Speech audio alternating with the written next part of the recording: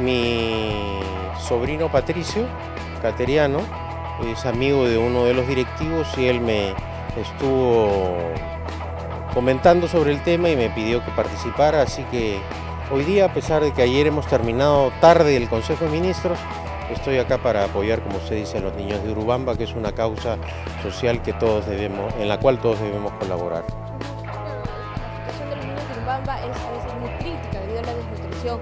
Eh, tal vez muchas veces se ha pedido el apoyo del Estado. ¿Qué está haciendo el Estado por ellos en realidad, por estos niños también? ¿no? Bueno, en términos generales, uno de los rasgos distintivos del gobierno del presidente Humala es precisamente el de los programas de acción social. Y dentro de este contexto, Aliwarma, eh, Beca 18, constituyen acaso eh, las iniciativas más importantes.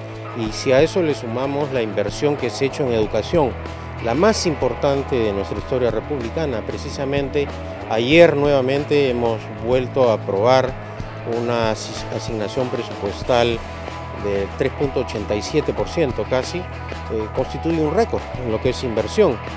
Y es indiscutible que la mejora de los colegios, los desayunos, los almuerzos que se dan en los centros escolares también constituyen un apoyo importante para todos los niños y jóvenes del Perú.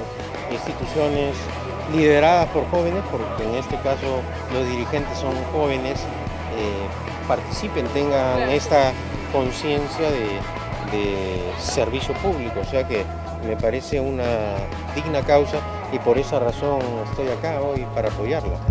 ¿Y qué opina, por ejemplo, de que haya niños presentes que también sean capaces de participar de la maratón? Bueno, me parece estupendo que participen personas de todas las edades, ¿no? Eh, mayorcitos, eh, jóvenes y niños. Y me parece también una magnífica oportunidad para que la familia esté unida un día como hoy apoyando una causa noble sobre todo.